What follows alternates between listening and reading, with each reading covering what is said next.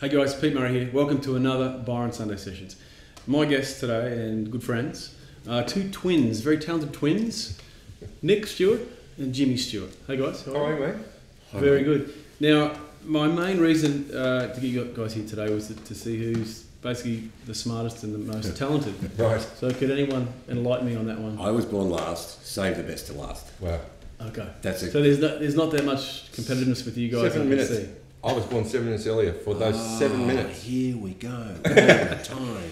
So look, now Nick, when I first started doing music, I in Brisbane, That's right. uh, George was already out and about. It was, it was kind of late '90s when George. it was. Yeah. yeah. And now I remember being uh, at Rick's Cafe having a brekkie one morning, Yeah. Oh, and I was I was I'd just been kind of was a young guy in the scene, you know. And you guys were kind of big. You'd, you'd won Yeah. uh, some arias, Yeah. and I was sitting there, and I was like, I think that's I think that's Katie Noonan over there. It's like who I was, I was with, and I think it's Katie. I'm going, and I didn't know your name, but I said that's the guitarist from, from George. Those guys are super cool, you know. And, and Tyrone, I didn't know who you were, That's and I was too. I didn't want to come and say hi. Yeah. But then I got to know you, uh, you know, a little bit through the scene, the local Yeah. scene, and um, I remember uh, I bumped into you against a bit years that sort of happened, and George had finished up, and then my career had kind of taken off, and then I bumped into you, and because I had no idea that this guy existed, yeah. no idea at all.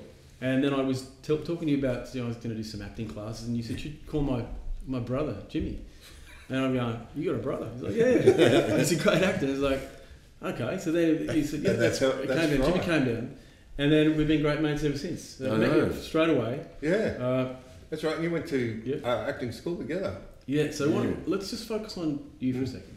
So I met you. We went and did some classes together, and Mhm. I didn't realise how talented you were. I started to see you on the show, uh, Pack the Rafters, Yep. uh, and then you, you did the classes with me. And, and I've got to say, every time we would do a scene, in that everyone who was watching, you would come out and nail it, and we would all be kind of like, God, how you know that was kind of. It's, we would be embarrassed to try and do it in front of you because you were like the guy, you know what I mean? I was running this thing where I just thought, take a risk. It's class. Mm. Classes are so good for, you know, just trying something that you're not sure you can do, or if you can. I, I'd love to be a comic actor, and I'm not really sure of it. I've grown up on classics, theatre, real drama, but those classes, they were a gas. Yeah. And I I know what you mean. It's um, can be intimidating. Very intimidating, yeah. But I think, but you would always say you're nervous, but you never showed any sort of nerves at all. No. So But he also did like hours of practice. I remember when you guys were doing you were telling something. He, he would spend hours just practicing his laugh. Yeah. Like, is that a fake one right now? No, no. He would like with specific lines. And I remember this. He would um, stress each word as he'd do it. So ten times he'd stress each word, and that would take hours. And you'd see them going, "Please shut up. Please be quiet. I'm trying to watch this From, stuff." from what what age were you at this stage? Were you guys together? at? So no, the music kind of for me sort of. I gave it all over to Nick at a certain period, Mm. I, you know. but uh, music, you were into music first. we both were in music first. Yeah. We Yeah. both kind of. So when I, it, it grew out of surfing, we were surfing, and at night you can't surf. So what do you do? So we picked up a guitar a lot more. Um, we were playing. What age were you guys around this time? Teenagers? Yeah, 13, 14. Okay. And um, and then it just it was a twin fight. My solo, give it to me. It's my turn. no, Mm. I can do it better. And then we formed a band, and we said, right, well, we can't fight like this. How about you be the lead singer and the front So you, guy? who was in the band at this stage? Just you two guys? Just us two and some school friends. okay. Yeah, and um, that was during high school through PBC and uh, and then on the Goldie. Jimmy all we was the did singer? was yeah. Jimmy all we was the did singer. was Guitarist? doors Guitarist. songs, just the doors, Doors songs. covers. He loves the attention, doesn't he? Yes, Yeah, he does. Front man. yeah, yeah. Hey, where's the light? Where's someone's the light? got to be. got to sell the show something. Um, I'm s- s- and going through to university, it, it stuck with that um, until one day Jimmy calls me from, he's studying at UQ in Brisbane and says, I've moved into a share house with this girl named Katie Noonan.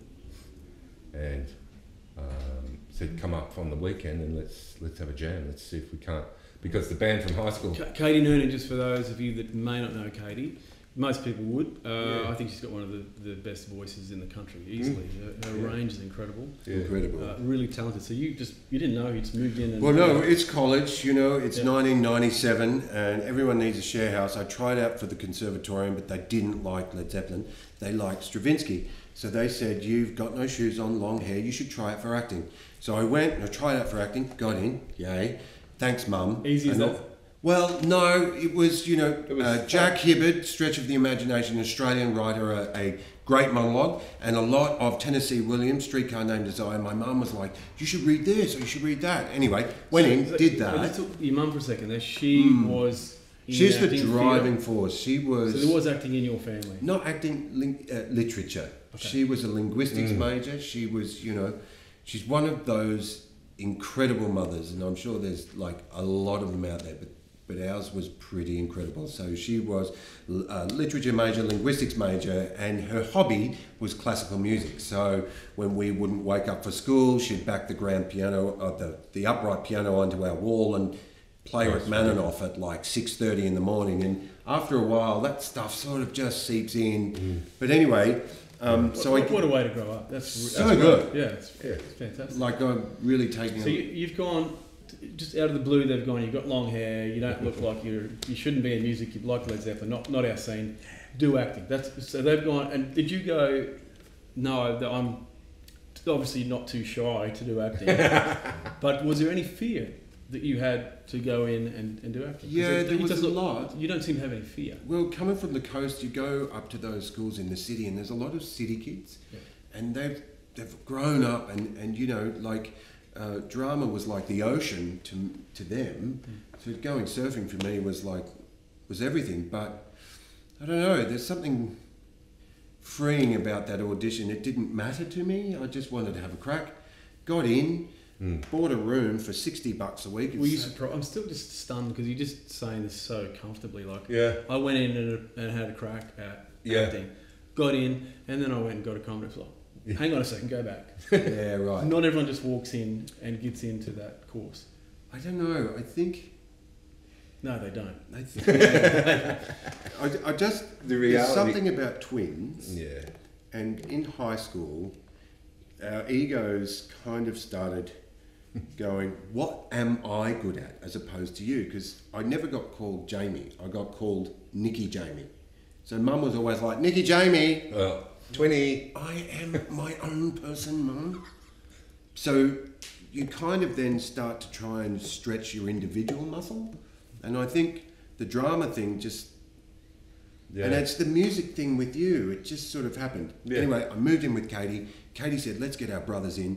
Tyrone came in, and Nick came in, and George, the first sort of So it's real- like a, two families. two families. Really, two families. Yeah, it was really organic. It was uh, a particular, a couple of particular nights where the four of us and a bunch of other friends and musos, and we just jammed for hours. I remember at 3 a.m., Hills Hoist, I might have been cozy, and so much music. And then Kate Noonan just opened her voice, and I went, Yeah.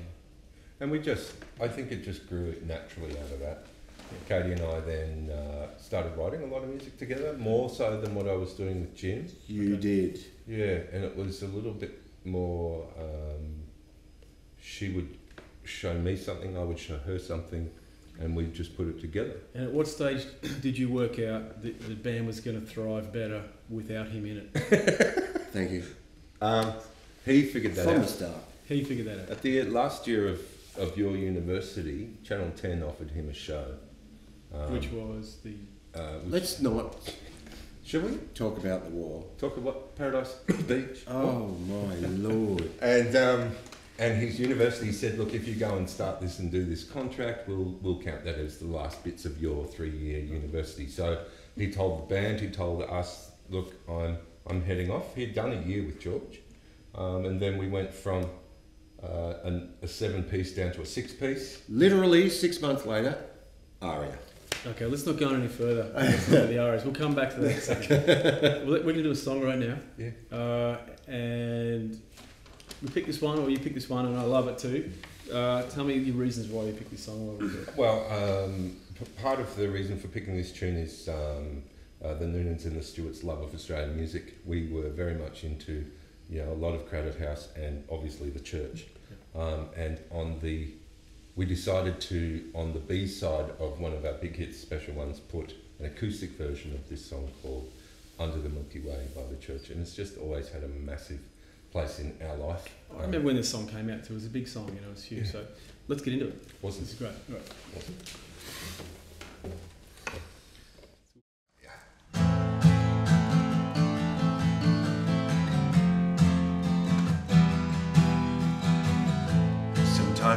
place gets kind of empty,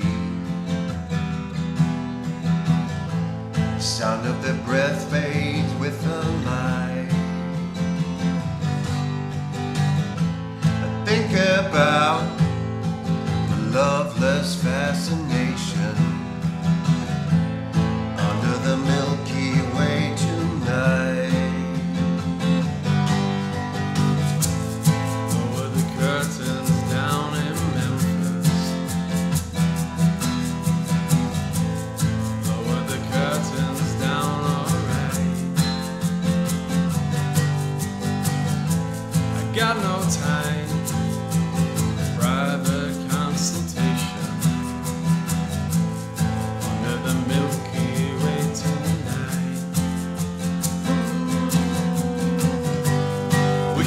knew what you were looking for.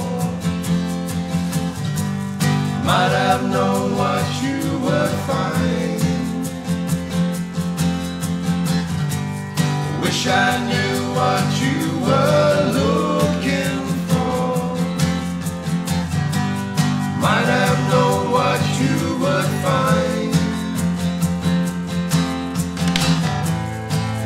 it's something quite peculiar. Something shimmering and white. It leads you here despite your destination under the Milky Way tonight.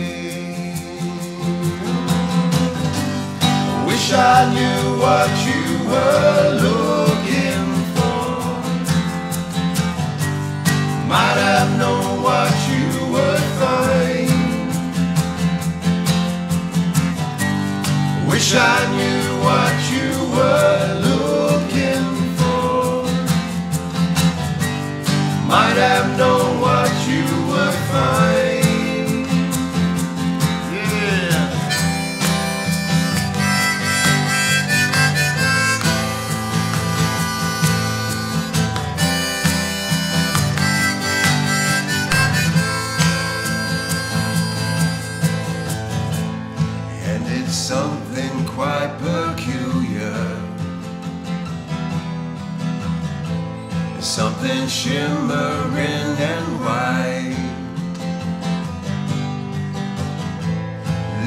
you here despite your destination under the Milky Way tonight. Wish I knew what you were looking for. Might have known what you would find. Wish I knew what you were